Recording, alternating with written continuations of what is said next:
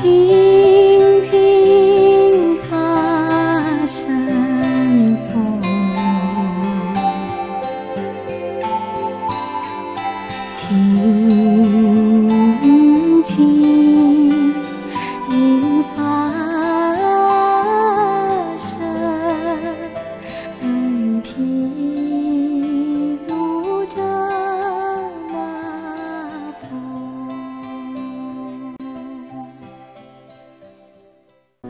护持生命电视台就是护持佛法，就近帮助众生离苦得乐。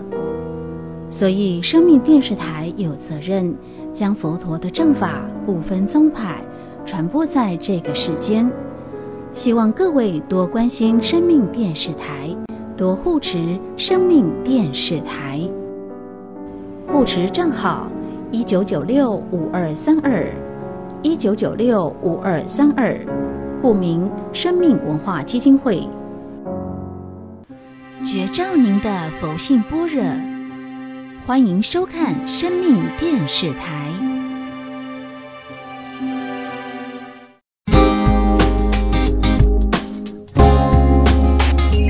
接下来，请收看《长老发育》。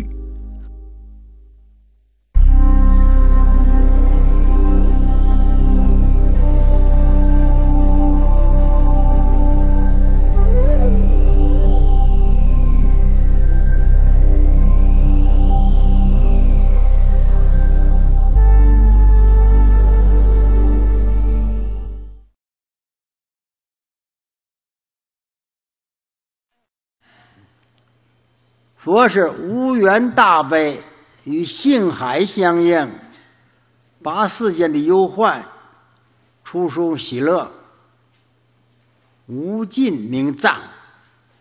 藏者是含藏的意思，对，含藏的意思啊。含藏什么呢？嗯，含藏的无量性功德，无漏的性功德。在一切众生所受的，在佛是全部得解脱了，没有恼害的心。咱们前面讲清净了，这是讲这个二禅天呐，十种天王，他们所得到佛的境界的一部分。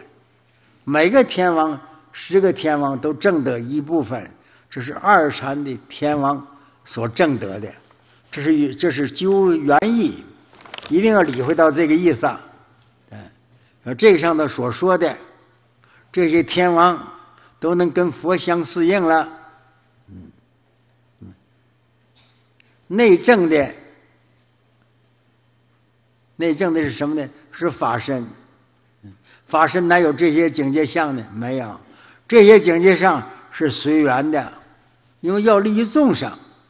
要利益众生，必四现跟众生的同事舍，也四现降生，也现出生啊，幼儿时间，在青年时间，嗯，中年时间一样的，也像像人一样的，但是实际不是，它是视现的，视现的不是真实的，也可以说幻现的吧，化现的。为什么？因为佛要以无缘大悲，无缘大悲，要拔一切众生苦。嗯，这佛门呢，经常讲无缘大悲，无缘大悲。但是无缘这个大悲啊，是办不到的，是佛门广大，无缘的难入啊。啊，怎么办呢？做远缘，以佛的摄受力，在性体上，《华严经》净讲性啊，在性体上就有缘了，同一体性过，这不是缘了吗？另一方面讲无缘，另一方面讲同体大悲。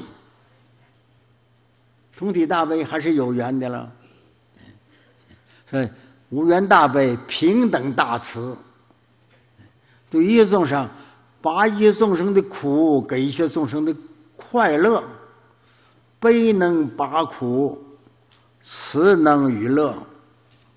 嗯，所以无缘变成有缘，是吧？性海相应过，在同一个体相，就是平等平等，拔出他的一切在世间人间所有。